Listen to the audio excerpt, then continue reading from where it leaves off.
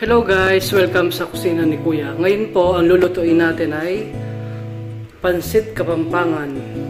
Ang mga ingredients na kailangan natin ay bihon, celery, carrots, green and red bell pepper, repolyo, baboy po. Yan, tinano ko na, nilaga ako na. Kailangan din natin ng soy sauce, ito yung pinaglagaan ko. Meron din tayong sibuyas, bawang, asin, konting betchin, asukal, ground bell pepper, maglalagay po tayo ng atsuite, at saka sesame oil. Maglalagay din po tayo ng pork cubes at saka yung mantika. Ngayon po, umpisahan na natin. Ayan po, mainit na po yung kawali, lalagyan na natin ng mantika. Mga tatlong kutsarang mantika po. Yan, mainit na po yung mantika. Ilalagay na natin yung sibuyas.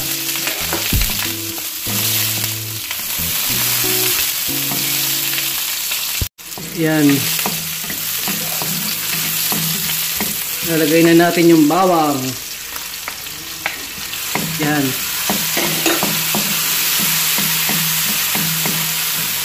Yan po, lalagay na rin natin tong baboy.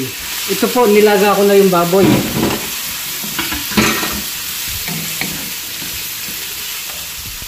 Yan po, medyo natusta na ng konti yung baboy. Lalagay na natin yung atsuete para matunaw doon sa mantika. Para magkaroon ng color. Yan, ganda na ng kulay. Ayun po, lalagay na rin natin yung carrots.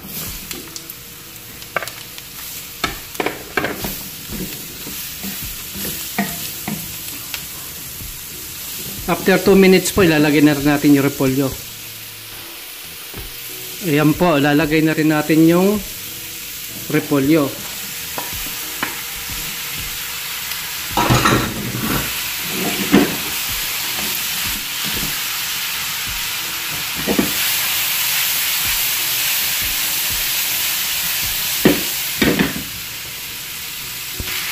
Ngayon po, lalagay na natin yung toyo.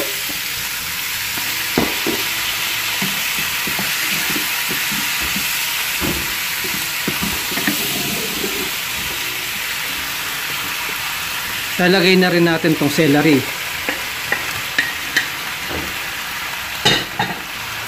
At itong bell pepper.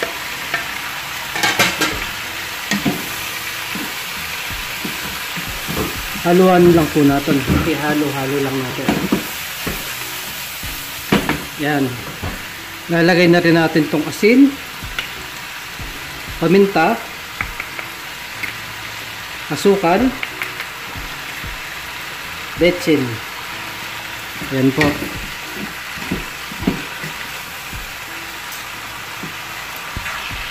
Lalagay na rin po natin yung isang pork cubes.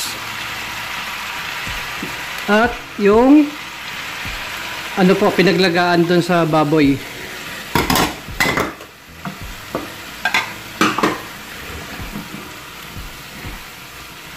Ayan.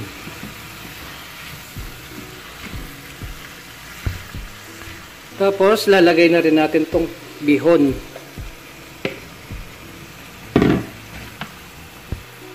Haluhin lang po natin para sipsipin nung sabaw nung bihon, ng bihon. Ayan. Ayan po. Yung una ko pong linuto, ano po yun, uh, nakuha ko yung recipe dun sa kaibigan kong Ilocano. Pag nagluto po sila, dry daw yung pansit nila. Kami naman sa mga kapampangan, medyo basa ng konti. Ayan po.